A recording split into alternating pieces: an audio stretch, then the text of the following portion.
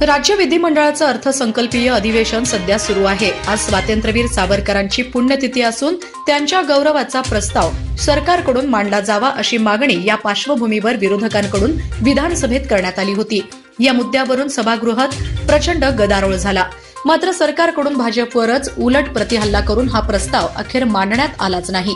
या मुद्द्यावर विरोधी पक्षनेते देवेंद्र फडणवीस यांनी विधिमंडळात पत्रकारांशी बोलताना तीव्र शब्दात टीका केली आहे. इतकी लाचार शिवसेना मी आजपर्यंतच्या आयुष्यात बघितलेली नाही असं देवेंद्र फडणवीस म्हणाले आहेत.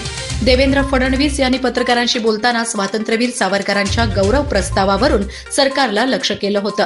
आम्ही कलम तेवीस अंतर्गत स्वातंत्र्यवीर सावरकरांच्या गौरवाचा प्रस्ताव मांडला होता. मी स्वतः त्या संदर्भात मुख्यमंत्र्यांना पत्र दिलं होतं. मुख्यमंत्र्यांनी सावरकरांच्या गौरवाचा प्रस्ताव मांडावा अशी मागणी केली.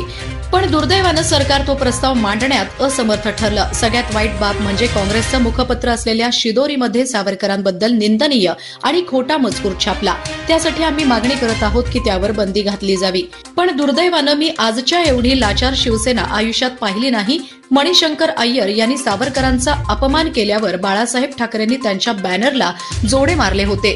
पण त्यांचेच पुत्र आता शिजोरीवर बंदी घालायला तयार नाहीत असं देवेंद्र फडणवीस यांनी म्हटलंय. दरम्यान याचा निषेध म्हणून भाजपनेच अभिरूप विधानसभा भरवत हा प्रस्ताव मंजूर केला. या संदर्भात फडणवीसांनी पत्रकारांना सांगितलं किमान सावरकर प्रस्ताव मांडायला हवा होता. तो प्रस्ताव मांडायला देखील ते तयार नाहीत त्यासाठी आम्ही अभिरूप विधानसभा तयार केली. त्यामध्ये शिदोरी मासिकावर बंदी आणि सावरकरांचा गौरव प्रस्ताव आम्ही मंजूर केला.